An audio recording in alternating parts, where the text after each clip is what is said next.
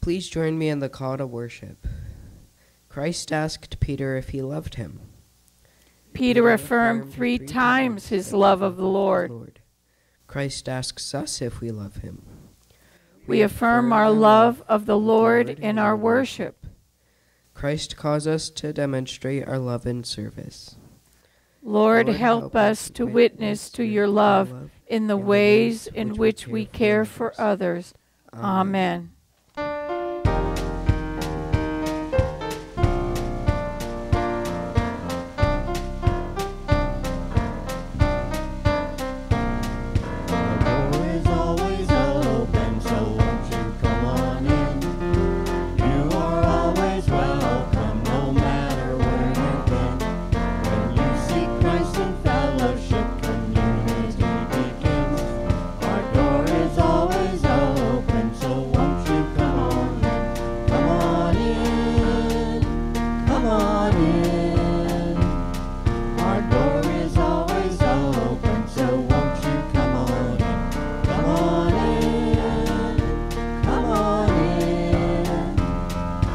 Our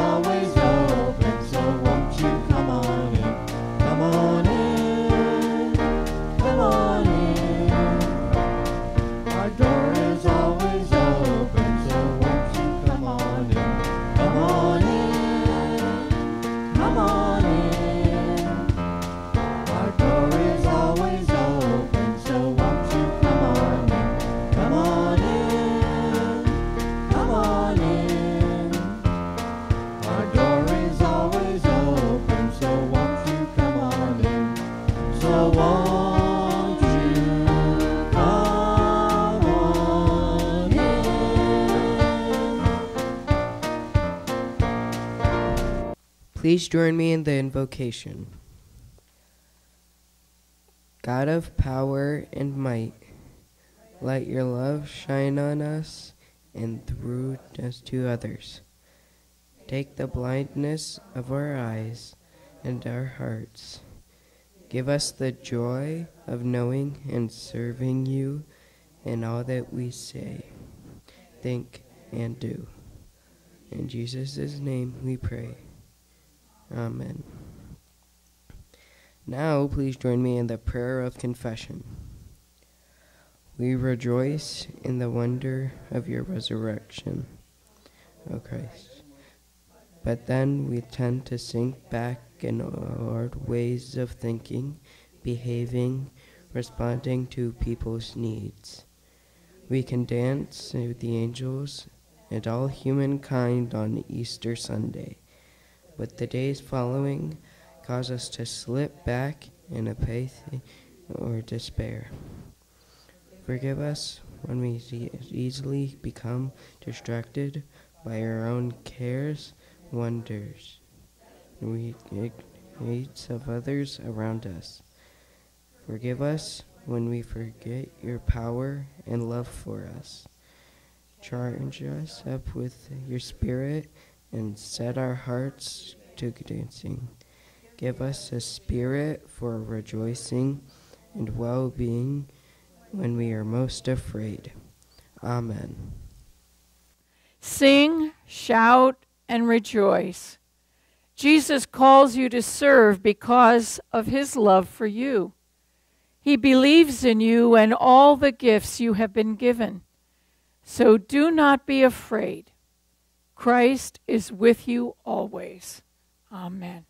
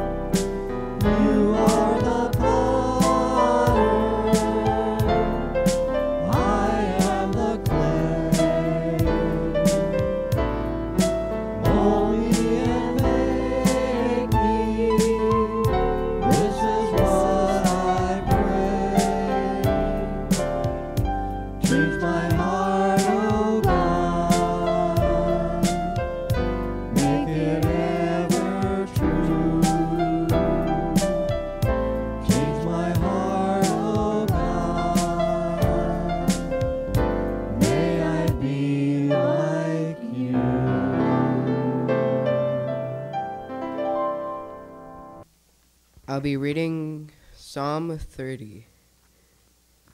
I will exalt you, Lord, for you have lifted me out of the depths, and I will not let my enemies gloat over me. Lord my God, I I called to you for help, and you healed me. You, Lord, brought me up from the realm of the dead. You spared me from going down in the pit. Sing the praises of the Lord, you, his faithful people. Praise his holy name, for his anger lasts only a moment, but his favor lasts a lifetime. Weeping may stay for the night, but rejoicing comes in the morning. When I felt secure, I said, I will never be shaken. Lord, when you favored me, you made my royal mountain stand firm. But when you hid your face, I was dismayed. To you, Lord, I called. To the Lord I cried for mercy. What is gained if I am silenced? If I go down into the pit? Will the dust praise you? Will it proclaim your faithfulness? Hear, Lord, and be the merciful to me. Lord, be my sackcloth, and clothed me with joy, that my heart may sing your praises and not be silent. Mm. Lord my God, I will praise you forever. Amen.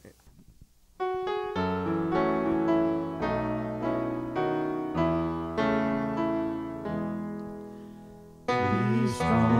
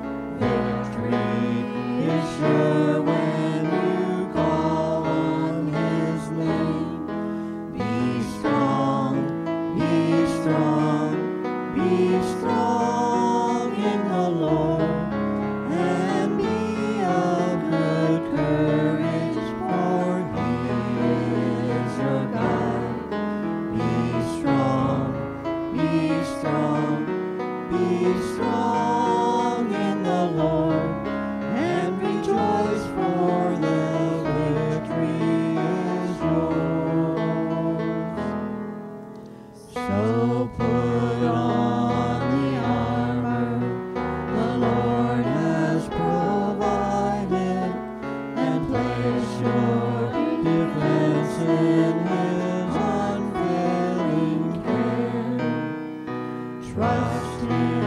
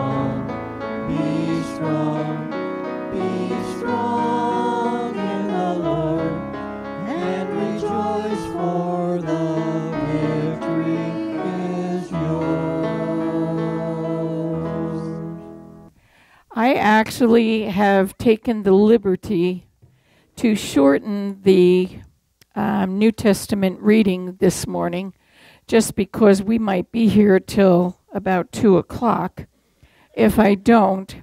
So I'm going to begin reading um, John chapter 21, and I'm going to be reading starting at verse 12. So if you can move down to that. Jesus said to them, Come and eat breakfast. Yet none of the disciples dare to ask him, Who are you? And of course, this is after Jesus' resurrection, so they didn't recognize him, knowing that it was the Lord. But Jesus then came and took the bread and gave it to them, and likewise the fish. This is now the third time Jesus showed himself to his disciples after he had been raised from the dead. So when they had eaten breakfast, Jesus said to Simon Peter, Simon, son of Jonah, do you love me more than these? And he said to him, Yes, Lord, you know that I love you. And he said to him, Feed my sheep, or feed my lambs. He said to him again a second time, Simon, son of Jonah, do you love me? And he said to him, Yes, Lord, you know that I love you. And he said to them, said to him, Tend my sheep. And he said to him a third time, Simon, son of Jonah, do you love me? And by this time Peter was grieved because he had said to him the third time, Do you love me? And he said to him, Lord, you know all things, and you know that I love you. And Jesus said to him, Then feed my sheep. Hmm. Wow. Has anybody ever asked you the same question a few times over? My children are starting to do that to me. I think they think I didn't hear the first time, and maybe that's true. I blocked it out. I just wasn't going to go there. But I find that sometimes when you get to the point where it's the second time or even the third time you're being asked, you better pay attention. Because obviously, this is something that Jesus wanted to hear and hear a response from Peter. And it must have been a very important question. And how many times have we not asked that of our spouse? Do you really love me? With what you just did, do you really love me? Yeah. We know that where that is coming from, don't we? I don't know. A lot of us now have been married 25. I remember when it was my 25th wedding anniversary, 30th, 40th. And now it's hitting near the 50th coming up in the next year and a half. And I can't believe I've even arrived at that point. And that I've actually been married to the same guy. All the he looks a little different than he did back in 1974. But he's the same guy with a few changes and the same with me. A few changes, a few more gray hairs few more wrinkles under the eyes, but we're still in love. Hmm. You know, I was reading a statistic the other day, and I remember in 1981 the statistics of marriage staying fully married and not getting divorced was about 50%. And do you know that statistic actually has gone down? Now in 2000, or at least last year in 2021, statistically, there are about 45% of everyone that gets married in America ends up in divorce. And you think, well, that can't be right.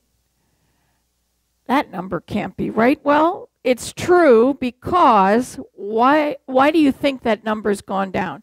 A lot more people today aren't getting married. They're living together, but they're not getting married. I think they all want to test the waters for a while. Figure out how rough the sea is and whatever before they step into the pool and make that commitment. You know, I, there might have been a, a bit of wisdom in that for a longer engagement period when I think back to that.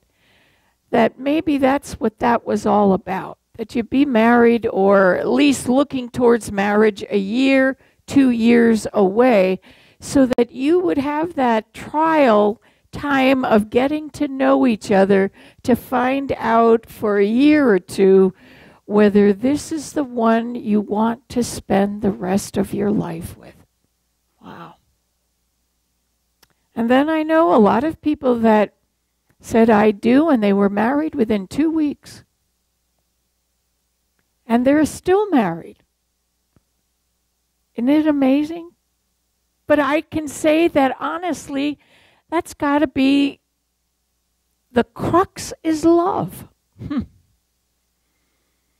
whether you give it a long time or a short time or whatever, when you're making that commitment, it's about loving, about really caring of someone else. There was a little, a young man that came to his dad and he says, Dad, you know, I think I'm ready to get married. And his father said, Well, how do you know that? He said, Well, Dad, he said, I, I, I really think I love her. I really think, well, how do you know you even love her? Well, he said, last night when I was kissing my girlfriend goodbye, her dog came and bit me in the leg. And I never even felt the pain until I got home.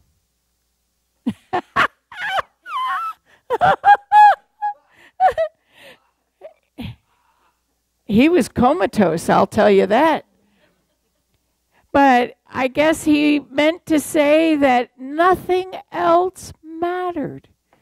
It was her and I, and we were in a moment of intimacy and connectedness, and there's nothing else like it.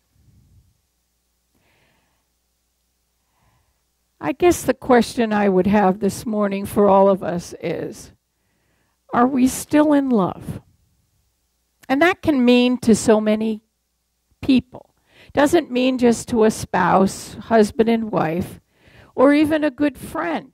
I mean, we can love, I have some wonderful friends that I absolutely adore, and I love them. But we have to ask ourselves do we love our spouse? Do we love our friends? Do we love God? Do we love our community? Do we love our nation? Do we love the world? Do we love somebody that lives over in Africa or lives in Japan? Or maybe somebody that even lives in Russia?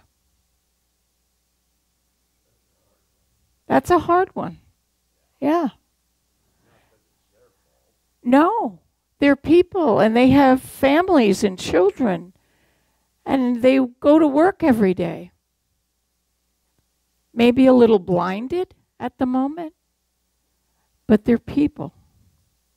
And you know what? God created them just as much as God created us. Yeah. I know when Gary and I got married back in 1974, a wedding approximately in New York, New Jersey area ran about $10,000. Believe it or not, way back then. Now, that was new to me because I came from Massachusetts and we didn't spend that kind of money on a wedding. And when I got to New York and met my husband's family, and my family lived in New Jersey, my parents, we realized that that was the going rate for having a reception and getting married was $10,000. I'm like, whoa. And that was 48 years ago. Can you imagine what a wedding and what a wedding does cost today just to get married? And I remember seeing a, a couple that came on to Dr. Phil's program one time. I was home for having surgery, and I usually don't get him when I worked because I was just not there at that time. But I remember a bride and her fiance were on this show, and they were talking about, and the the dilemma was are we going to spend this kind of money on one day of our lives?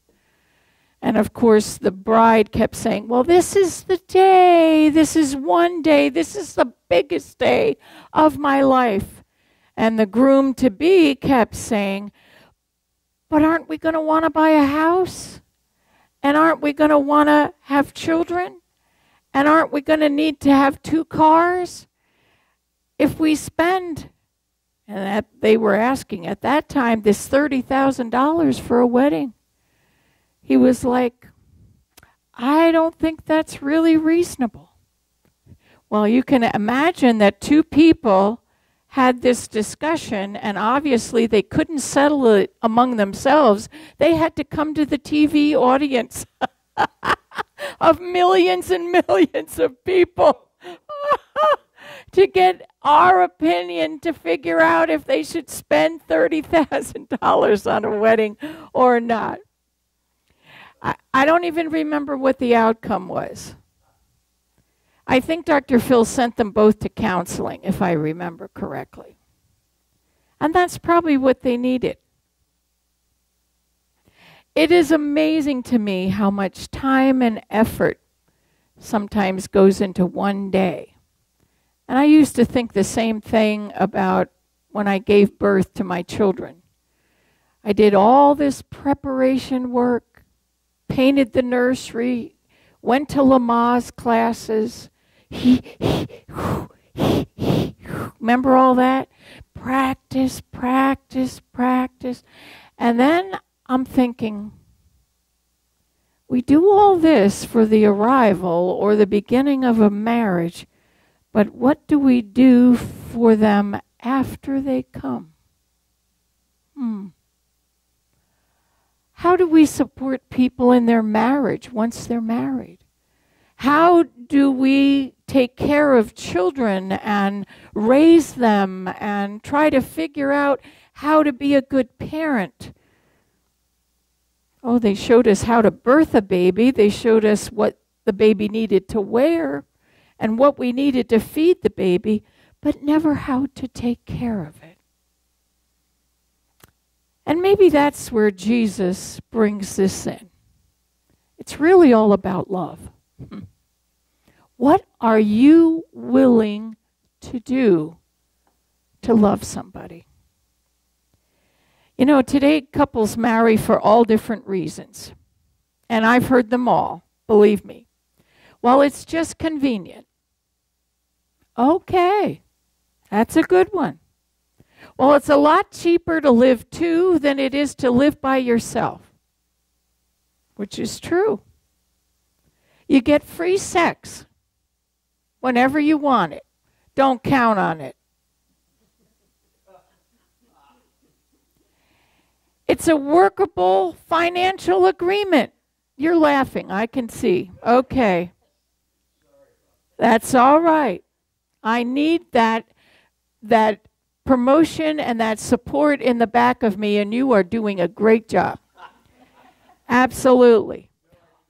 No extra charge. Or somebody told me one time, well, that's what my mother wants me to do. okay, whatever. And I used to say, You're kidding, right? You're really kidding, right? No. And I think back, what has held so many marriages and relationships and commitments together over the years and generations, even before us? It was really sacrificial love. I don't know, maybe we think as a society and as a people, we don't have to sacrifice anything to be in love. And I don't think that's how Jesus saw it. And you know, the funny thing about it is, three days or so, a week maybe, a few days earlier, before this encounter with Peter, Peter had an opportunity to identify himself with Jesus. Remember that? Before the crucifixion? And then after, aren't you a disciple? Aren't you a follower of Jesus? Oh no. Oh, no, not me. No. And he did it three times. Maybe that's why Jesus asked him three times. You denied me three times. I'm going to ask you again three times. Do you love me? Hmm. You know, loving somebody I have discovered over 48 years of marriage is not just lip service. I don't know if it ever started out that way, but I think we were probably in more of an awe and infatuation and whatever. But when the rubber hit the road and you realized what marriage was all about and that you were going to live with this individual, hopefully for the rest of your life, you begin to realize that it's not even 50 50. it's 150 both ways. Yeah. And then we can ask ourselves the question you know, do you really love me?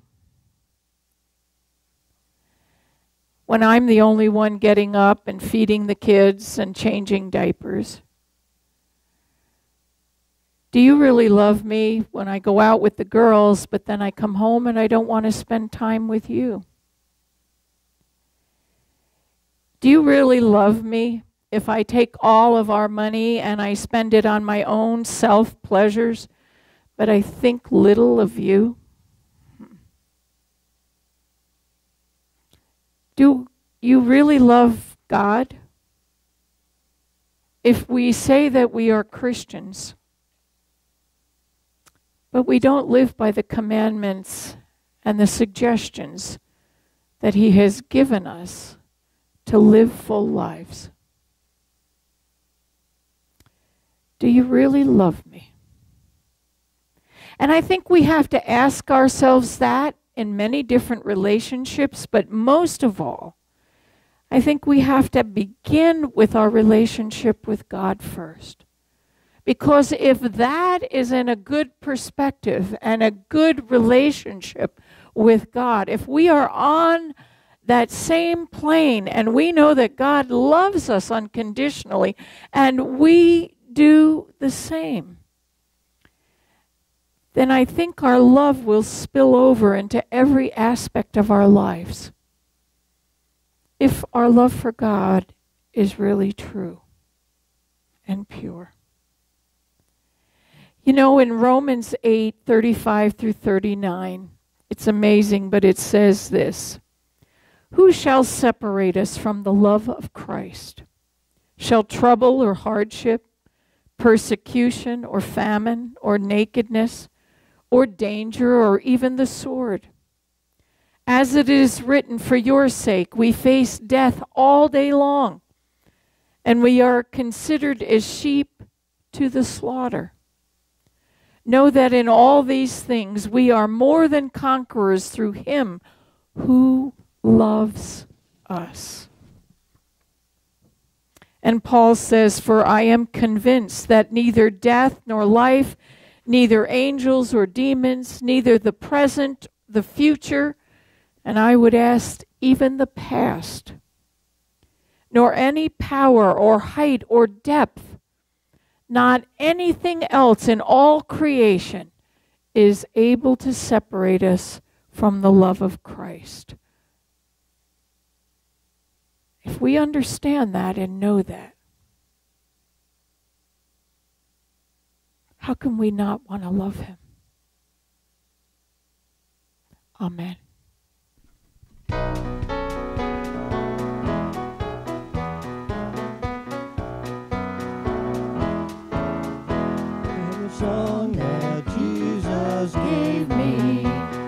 sent from heaven above.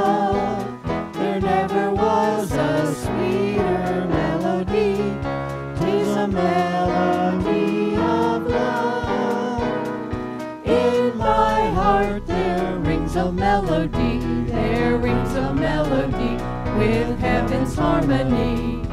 In my heart there rings a melody there rings a melody of love.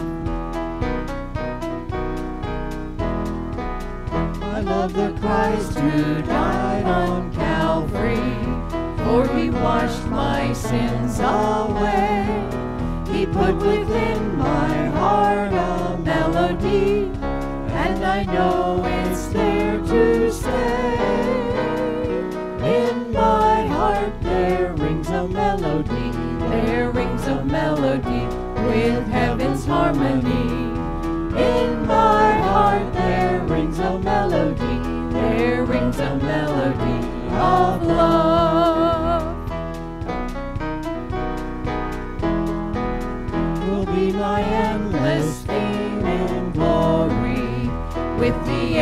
Angels I will sing. Will be a song with glorious harmony when the courts of heaven ring. In my heart there rings a melody, there rings a melody with heaven's harmony. In my heart there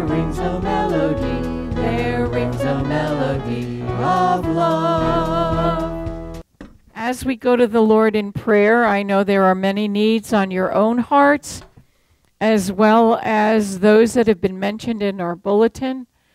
Please continue to pray, especially for Lewis today, who had double knee replacement.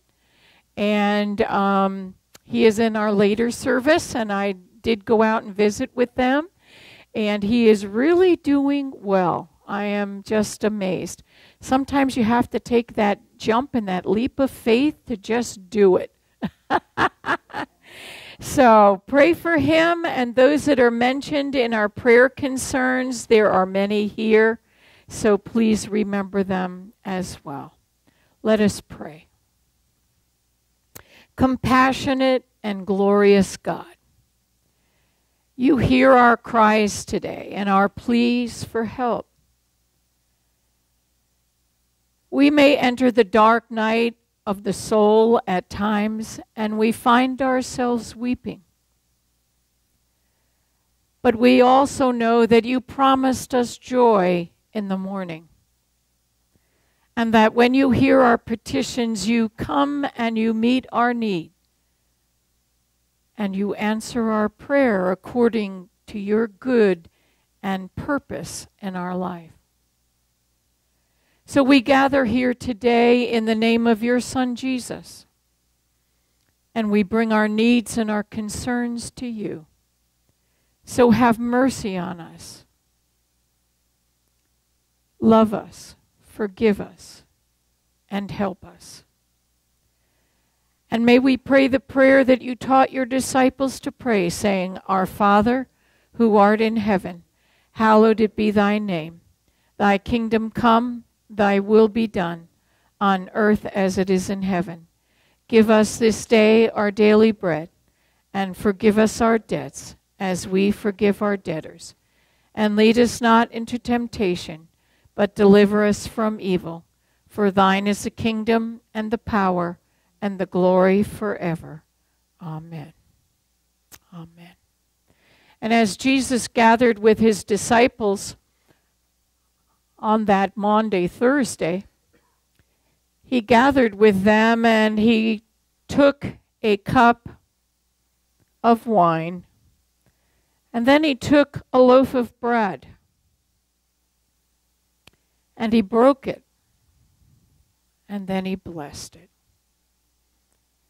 And he says, As you eat and drink of these emblems, and as you eat and drink of this wine and bread, every time you do this in the future, remember me. And I think he was saying, every time you do this, remember how much I love you. And he knew that in a few days from there, he would be giving himself his life for all of us. Boy, that's a great love. Let us pray for the elements. God, we thank you for these elements of bread and wine that you continually lay before us so that we can remember the greatest gift your life, your acceptance, your forgiveness that you have given to each one of us. As we ingest them today, may we remind ourselves of the sacrificial life and the love that you gave to each one of us. We ask this and pray this in the name of the Father, Son, and Holy Spirit. Amen.